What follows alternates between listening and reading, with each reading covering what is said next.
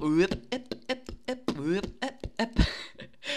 chicos, aquí estamos en otro vídeo más de GTA 5 Online y en este caso os traigo un nuevo test de velocidad como estáis viendo que por cierto hacía ya muchísimo tiempo que no os traigo un episodio de esta serie si no recuerdo mal justamente desde que salió el último DLC, el DLC Business Update. Así que como digo hace un porronazo de tiempo que no os traigo un nuevo episodio. Y bueno pues muchos de vosotros me diréis entonces Dani, y si hace tanto tiempo que no os traéis un episodio de esta serie ¿por qué cojones justamente ahora en este momento, en este instante del universo nos traéis un nuevo episodio de esta serie, ¿no? Pues bueno, supongo que ya todos sabréis ya que esta notición salió hace ya unos días y es que bueno, la semana que viene justamente el día 13 de mayo, justamente el martes de la semana que viene, saldrá el nuevo DLC High Life para PlayStation 3 y Xbox 360. Y como ya sabéis, este nuevo DLC, este nuevo mm, pack o este nueva, esta nueva actualización de GTA 5 Online, como queréis llamarlo, contendrá tres nuevos perdón, cuatro nuevos vehículos, tres coches y una moto. Entonces, pues, eh, como ya sabéis, a mí me gusta esta serie hacerla con diferentes coches nuevos que metan, ¿no? Ya que ya los coches que están en el juego, pues ya están muy probados, por así decirlo, y ya todos sabemos cuál corre más y cuál corre menos, ¿no? Pero bueno, en este caso traigo un enfrentamiento bastante, bastante, mm, eh, no sé, bastante reñido, por así decirlo, que en,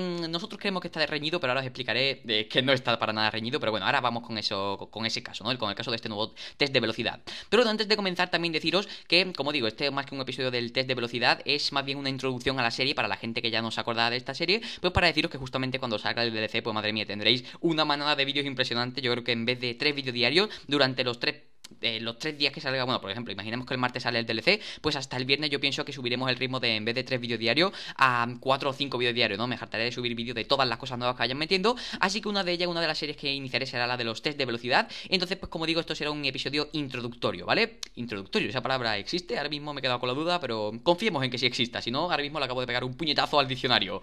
Así que bueno, pues deciros también que como habéis visto desde la última vez que hice los test de velocidad, eh, los test de velocidad, hemos cambiado el escenario, ¿vale? El, Anteriormente los hacía en el aeropuerto principal de Los Santos, por así llamarlo, y en este caso estamos aquí en el aeropuerto de Trevor, ya que eh, se me ha antojado, más bien que, bueno, más que se me haya antojado, se me ha ocurrido eh, el hacer los test de velocidad justamente aquí en este aeropuerto con el creador de partida. Ya, sabéis que en el, creador de partida no se puede poner nada en el aeropuerto principal de Los Santos, así que me he decidido venir justamente aquí al aeropuerto de Trevor, ¿vale? Y no sé, al, crear las partidas con el, bueno, hacer, al hacer los test de velocidad con el creador de partida, yo pienso que le da un toquecito más de profesionalidad y de, no sé, está, está más chulo, ¿no? Diciéndolo de alguna manera, que queda más bonito el escenario. Así que bueno, pues básicamente era por eso, ¿vale? Mm, me he cambiado de escenario para poder eh, utilizar el creador de partidas y también deciros, aprovechando esto, que si queréis dejarme alguna sugerencia en los comentarios para, no sé, decirme, Dani, pues al escenario este puedes añadirle algunas cositas aquí, algunas cositas allá, pues eh, quiero que me dejéis en los comentarios alguna sugerencia que tengáis para mejorar lo que viene a ser el escenario en el cual vamos a desarrollar esta serie durante los próximos días, desde que salga el nuevo DLC Highlight, ¿vale? Justamente el,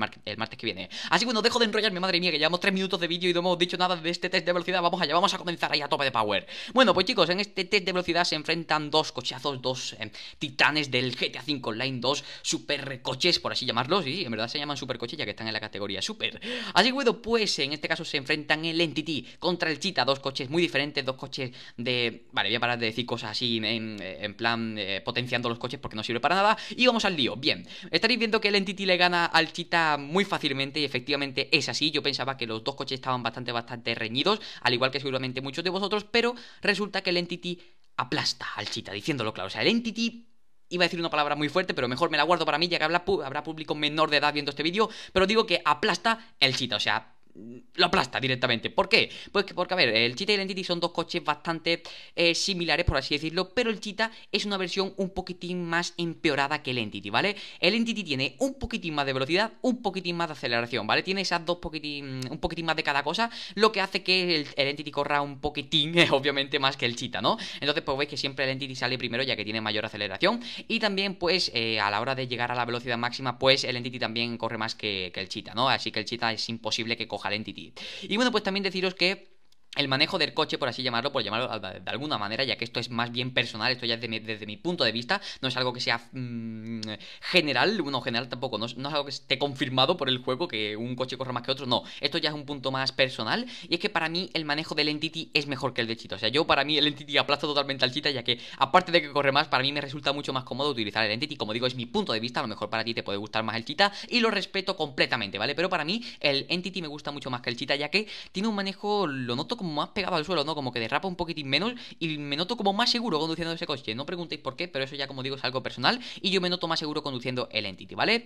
Así que bueno, pues básicamente este ha sido el, análisis de los dos coches, ha sido las características, como estáis viendo ahí, pues eh, mi coche siempre adelanta al Cheetah y la verdad es que, no sé, a mí me mola más el, el Entity No sé, a vosotros me lo podéis poner por los comentarios. Como siempre en esta serie, pues os dejo en la descripción una especie de encuesta en la cual podéis votar si os gusta más el Enzi o el Cheetah, ¿vale? En, bueno, en, los siguientes episodios que sube del nuevo DLC Highlights, que compararé los, nuevos coches nuevos, eh, los nuevos coches nuevos, atento a la frase, los nuevos coches nuevos, madre mía, qué pedazo de frase. Y también pues compararé los nuevos coches con eh, pues, el Adder, por ejemplo, que es el coche que más corre, ¿no? Y también pues en esos vídeos dejaré en la descripción encuestas en las cuales podréis elegir el coche el cual os guste más, de los cuales esté... Mm, eh, eh, haciendo el test en el test de velocidad, ¿no? Así que bueno chicos, pues esto ha sido básicamente todo este sido del episodio introductorio, que como digo, esta palabra no sé si existe, porque a lo mejor le estaré pegando un súper puñetazo al diccionario.